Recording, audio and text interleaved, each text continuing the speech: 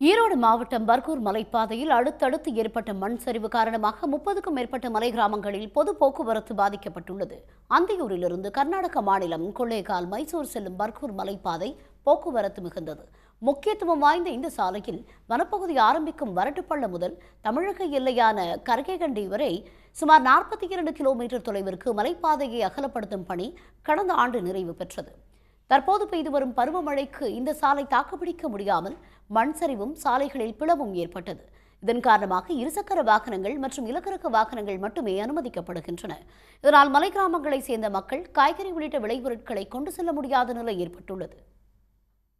வனத்தை வனப்பகுதியை வெட்டி எடுத்து சாலைகளை அகலப்படுத்துகிறாள். வெட்டி எடுக்கின்ற போது பெரும் பாறைகள் வந்துவிட்டால் அதை வெட்டி எடுப்பதற்கு வேட்டு வைக்கிறார்கள்.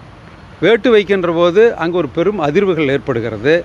இன்னொரு பக்கம் அந்த பகுதியில் இருக்கிற மரங்கள் எல்லாம் வெட்டி எடுக்கப்படுகிற போது ஏற்கனவே பாறைகளை எல்லாம் பிடித்து கொண்டிருந்த மர வேர்கள் அப்புறப்படுத்தப்படுவதால் அந்த இடத்தில் பாறைகள் புழக்கம் ஏற்பட்டு அது சரிவு வருவதற்கான வாய்ப்பை உருவாக்கியிருக்கிறது.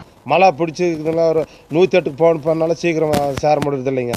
இதே ஒரு வீட்டில் மூணு பேர் நாலு பேர் உடம்பு சரியில்லாத இருந்து எத்தனை பேர் நூற்றி எட்டு மட்டும் வருங்க.